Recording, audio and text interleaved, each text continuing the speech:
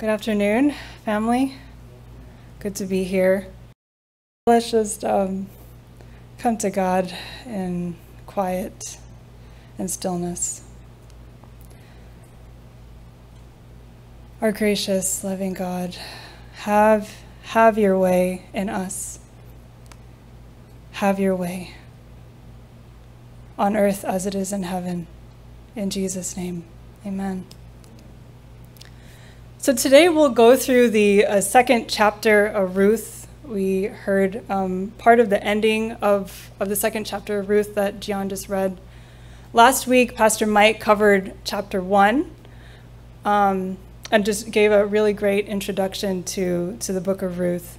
So, this is a story of family love and loyalty. Family love and loyalty between two widows.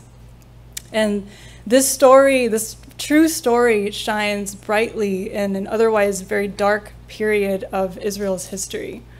Um, it takes place during the time of the judges uh, when murder, immorality, um, and general anarchy uh, was just normal. It prevailed in almost every family. So, this story, this gem of a story of light and love and loyalty, attests to the fact that with God, there is always hope for a brighter future. There is always hope for a brighter future with God in the picture. So at this point in the story, at the end of chapter one, hope, hope for a brighter future, this was the furthest thing from Naomi's mind.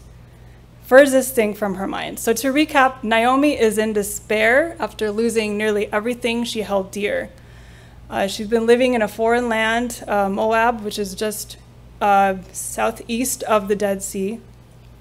She's been living there much longer than she anticipated 10 years, and she now found herself at rock bottom. Rock bottom. Her beloved husband, Elimelech, and her two dear sons are dead. They're dead. And Naomi is now left not just without her husband and her two sons, but without a means to support herself. So she's now in poverty and without hope for the future. So, understandably, as, as we heard last week, uh, at the end of chapter one, we see Naomi wallowing in her bitterness to the point where she even she doesn't even want to be called by her original name, which means I can't remember what Naomi means, but the opposite of bitter is like happiness, happy, I'm sorry? Pleasant. pleasant. yes. Naomi means pleasant, but she she identifies so much with her bitterness and her loss that she says, Call me Mara, which means bitter. And so she's wallowing in her bitterness and self pity. She feels very empty.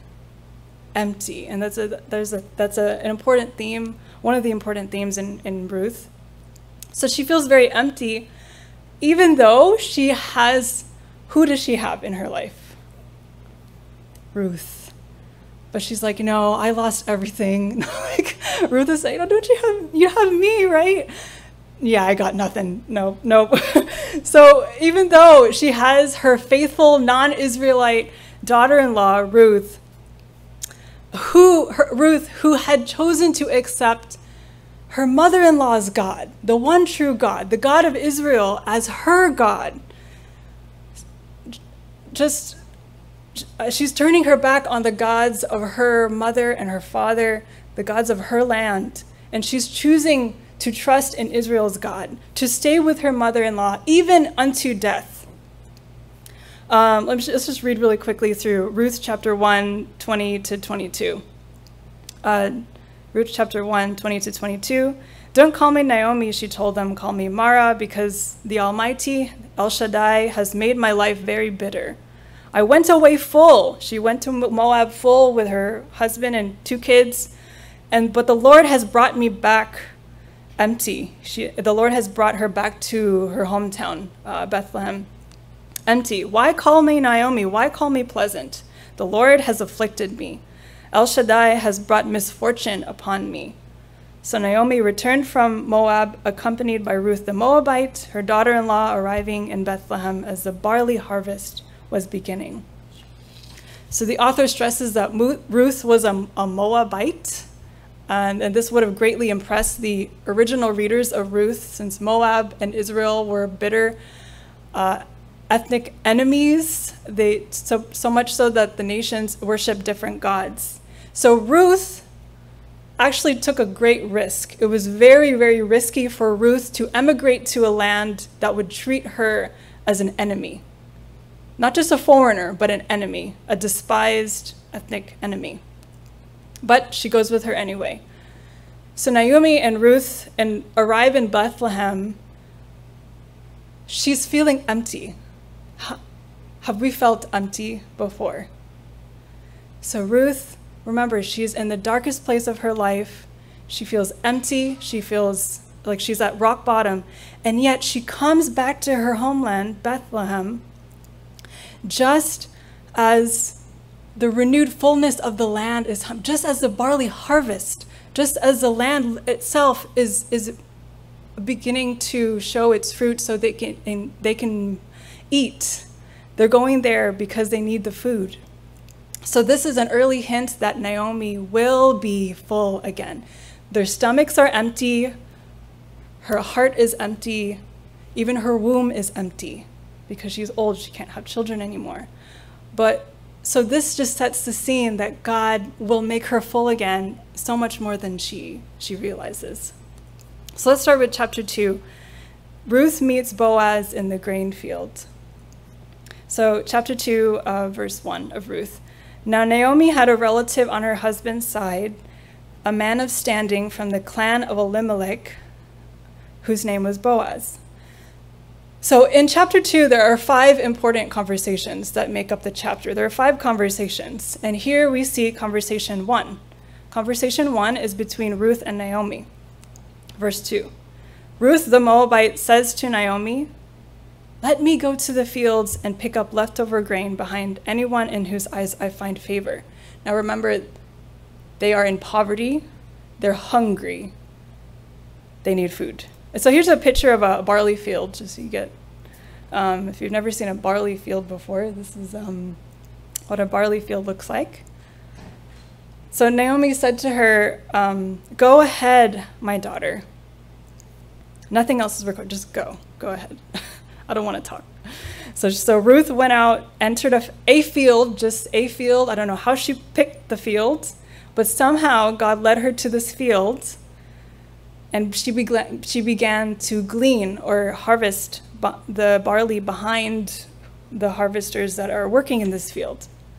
Now, in the interna- New International Version, it says, As it turned out, she was working in a field belonging to Boaz as it turned out, was this coincidence?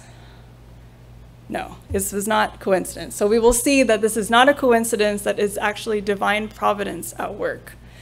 As it turned out, she was working in a field belonging to this very Boaz that was mentioned at the beginning of the chapter, who was from the clan of Elimelech, her dead, her late father-in-law. So in the Old Testament, um, God used several wel welfare programs to help poor people. So we see here uh, God's uh, instruction to care for poor people actually happening. So one of them reflected in this passage. There was a, a command uh, to leave some of the harvest in your field uh, for the poor or the needy to gather. And we see this in uh, partly in Leviticus 19. So we can go to Levit Leviticus 19, verses 9 to 10. Leviticus 19, 9 to 10. Uh, and here God gives the instruction When you reap the harvest of your land, do not reap to the very edges of your field or gather the gleanings of your harvest. Do not go over a vineyard a second time or pick the grapes that have fallen. Leave them, leave them for the poor and the foreigner. I am Yahweh your God. So we see God's law was persistently concerned with the welfare of the poor. So much so that even everyday farming was to be done in such a way that the poor or the foreigner could fend for themselves. And God's laws built a concern for the poor into the Israelites' daily routine. Uh, the reasons for such care are given in Leviticus 19, verse 2, which says that we are to imitate the holy character of God Be holy because I am holy. And one of the ways that we show, express God's holiness is care for, for the needy, for those who are marginalized, for those who are poor. As well as in uh, Leviticus 19, verse 18, we are to love our neighbor as ourselves. Um, a similar instructions were given by God in Deuteronomy 24, where he says to leave the remainder of your harvest for the foreigner, for the fatherless, and the widow. The foreigner, the fatherless, and the widow. And Ruth fit each of these categories. Um, it's also important to note that gleaning, especially as a poor, impoverished person, this was humiliating. It was just showing to the public that you are in poverty. It was humiliating and sometimes even dangerous work, especially in the time of judges, where women were very, very mistreated. So Ruth, being a single woman and a foreigner, she showed a lot of courage. She showed so much courage, choosing to fend for herself and her, her mother in law. And her diligence soon attracted the, the foreman's attention. We see this in conversation two between Boaz and his workers. So let's continue um, to verse four of Ruth chapter two. Just then, Boaz arrived from Bethlehem and greeted the harvesters. Yahweh be with you. Yahweh bless you, they asked, they answered. So here we, we see Boaz's character already um, Boaz and his farm uh, workers, they acknowledge their dependence on Yahweh for a good harvest, they, the, de the dependence on God to provide for them from the land. And it shows that in the time of the judges, when, when men, there was just a lot of immorality, men took advantage of so many people and, and women. Boaz, we see him as, as kind hearted, a godly man, a rare godly man in this dark time. And the fact that Ruth was even able to glean on from Boaz's field at all meant that Boaz followed God's instructions from the Torah. From the Torah is a, the, also called teaching, the first five books of the Bible. Um, so he, he followed God's instructions to care for the needy. Um, so again, it shows Boaz's character a kind-hearted, godly man. So verse 5, uh, Ruth 2, 2, verse 5, Boaz asked the overseer of his harvesters, Who does that young woman belong to? The overseer replied, She is the Moabite who came back from Moab with Naomi. She said, Please let me glean and gather among the sheaves behind the harvesters. She came into the field and has remained here from morning till now except for a short rest in the shelter. So we see the foreman giving Boaz, his, his boss, the landlord, he gives him a good testimonial about Ruth. And he even gave uh, three recommendations that won her respect uh, by Boaz. She had come courageously as a foreigner with the Isra- uh, Israelite Naomi. She asked permission. She didn't just go in the field and start picking food. She asked permission from uh, the foreman to pick up what the reapers left. And not only that, but she had worked steadily. She's worked steadily on uh, gleaning, even though it was discouragingly unrewarding work. So that was conversation two. Conversation three is in the next verses between Boaz and Ruth. And here we start to see more of Boaz's godly character and unexpected kindness that was that's given to Ruth. So verse 8. Conversation 3. Boaz said to Ruth, "My daughter, listen to me. Do not go and glean in another field. Stay here. Don't go away from here. Stay here with the women who work for me." Watch the field where the men are harvesting and follow along after the women. I've told the men not to touch you, not to lay a hand on you. And whenever you're thirsty, go and get a drink from the water jars the men have filled. At this, she, at this unexpected kindness, She bowed down with her face to the ground. And Ruth asked Boaz, Why have I found such favor in your eyes that you notice me? You notice me, a foreigner. Boaz replied, I've been told all about what you have done for your mother in law since the death of your husband, how you left your father and your mother and your homeland and came to live with a people you did not know before. May Yahweh repay you for what you have done. May you be richly rewarded by Yahweh, the God of Israel, under whose wings you have come to take refuge. We can take refuge under the wings of our God. God's people love to compare God's protecting care to a bird spreading her wings over, over her cheeks. And Jesus, we see Jesus himself in the New Testament uses this same metaphor for himself. And, and we'll see um, towards the end of Ruth, as well as in the biblical story, how this prayer, that this blessing that Boaz gives Ruth, that may you be richly rewarded by Yahweh, this prayer is amazingly answered. The Lord never gives up on us. Let's continue to verse 13. And here Ruth says, May I continue to find favor in your eyes, my Lord she said. You have put me at ease. You, you've eased my anxiety uh, by speaking kindly to me, to your servant, though I do not have the standing of one of your servants. So she continues working, and then at mealtime, verse 14, Boaz says to her, Come over here, come here, come here with us, with the workers, you know, have some bread, dip it in the wine vinegar. And when she sat down with the harvesters, Boaz offered her some roasted grain. She ate all she wanted and even had some left over.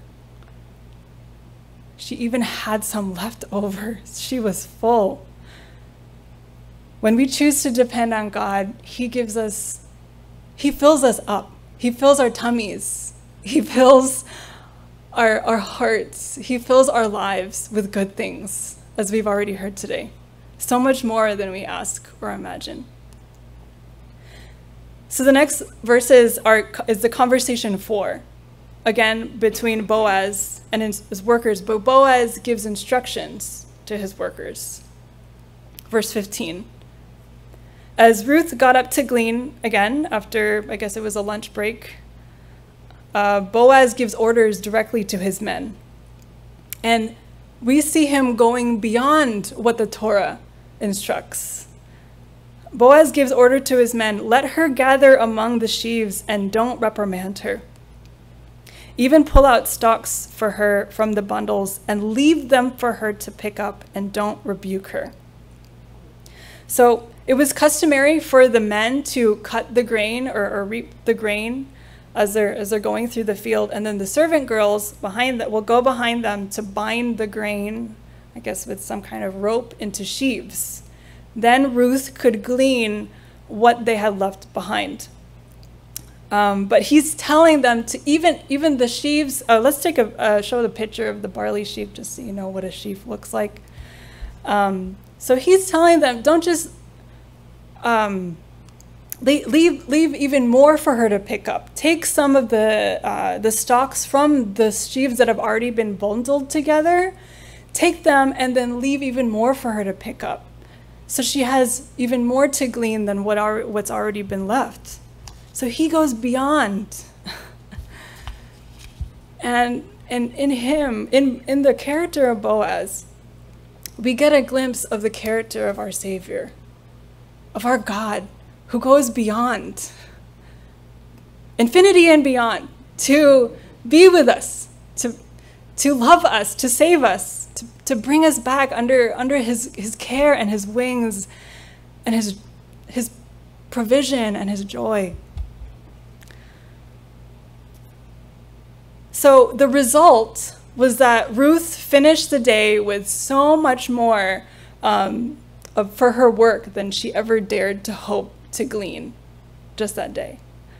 Verse 17 Ruth gleaned in the field until evening, until nighttime. Then she threshed the barley she had gathered, and it amounted to about an ephah or ephah. Not sure exactly.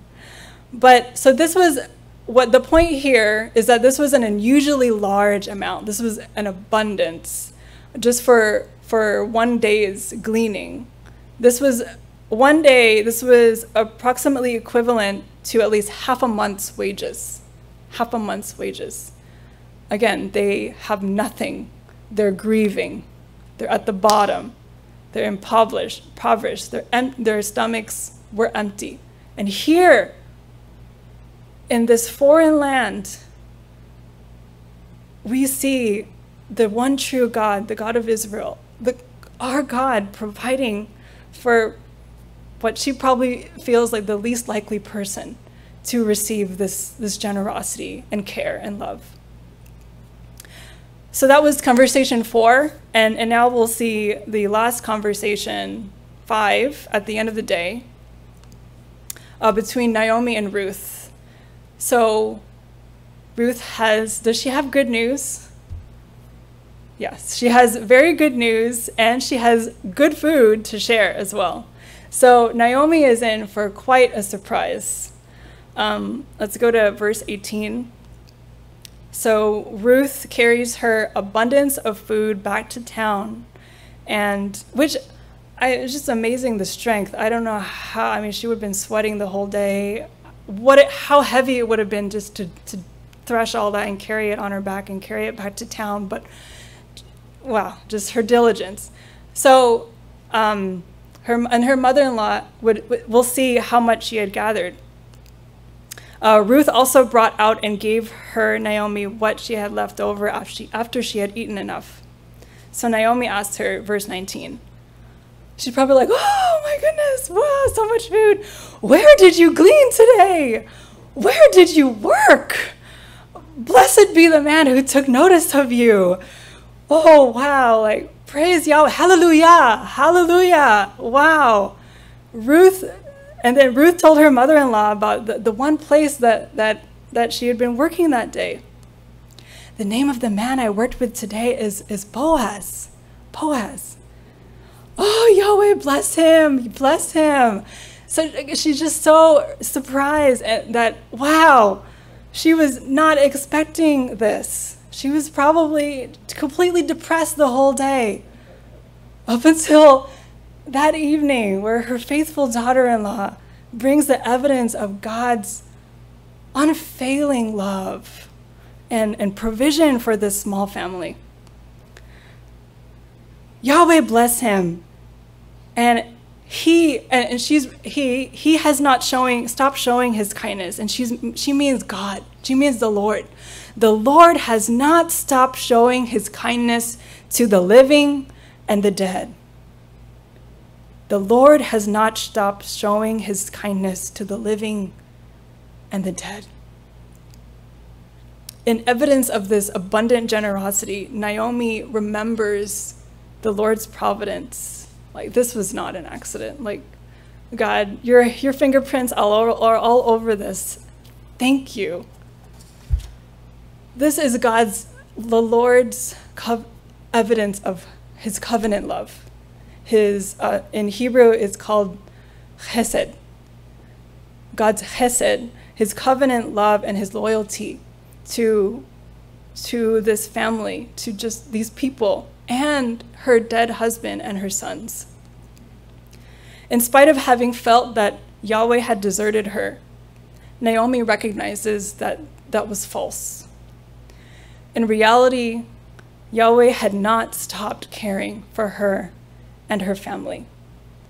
Yahweh's kindness to Naomi and Ruth was shown through the kindness of Boaz, as well as through Ruth's kindness to Naomi. We see this chesed in this story through deep personal care. Hesed is deep personal care through faithful love, self giving, and enduring commitment. Let's continue. Naomi added, That man, Boaz, is our close relative. He's one of our guardian redeemers. Not only have you received this, this, this abundance, but, the man, the very man that of that this field belongs to. Wow, he's one of our kinsmen or guardian redeemers. And so redemption, as we'll also see more next week, redemption is a key concept in Ruth as well as in the biblical story. The guardian redeemer was responsible for protecting the interests of needy members of the extended family. Um, translations of the, of the same Hebrew word, kinsman, redeemer, and avenger. Avenger, not Marvel Avengers, but the word avenger and kinsman, redeemer was actually used in the same Hebrew word. So Naomi is encouraged when she hears that the Lord has led Ruth to the fields of a relative who might serve as her avenger, her guardian redeemer. And this moment is a critical turning point in the story where Naomi, who's at rock bottom, hopeless, has nothing. She feels that she has nothing. Her hope is awakened her hope is awakened. She experiences unexpected, unexpected hope. And so let's just finish the story of Ruth chapter 2, uh, verse 21. Then Ruth the Moabite said, He, even Boaz, even said to me, Stay with my workers until they finish harvesting all my grain. So she'll be able to, to keep getting food until the end of the harvest. Naomi said to Ruth, her daughter in law, and now it's showing the, the connection of the deep connection between daughter and mother. It will be good for you, my daughter, to go with the women who work for him, because in someone else's field you might be harmed. So Ruth stayed close to the women of Boaz to glean until the barley and wheat harvests were finished. And she lived, she stayed with her mother in law. She stuck with her. So we see Ruth's faithfulness. Ruth shows the faithfulness of God, showing his blessing through the kindness of people. We experience God through the kindness of the people around us. In spite of Naomi's experience of disaster and tragedy, God is still with his people. God is still present with this little family, showing kindness showing covenant love, his hesed, acting as our covenant God. And so we see in the New Testament, in Jesus, God's covenant love. In Jesus, we see God's chesed revealed to us and the world. So even in the darkest and the lowest times, are we living in dark times? even in the darkest and lowest times, God is still moving. God is still working. God is still speaking through the kindness of his people. When we find ourselves empty with no hope for the future, God is still present and he is ready to fill us to overflowing. So next week, we'll hear from Pastor Burmy covering uh, chapter 3 of Ruth. God bless you, church, as you live out your awakened hope in Jesus our amazing covenant God. Thank you, Jesus. Amen.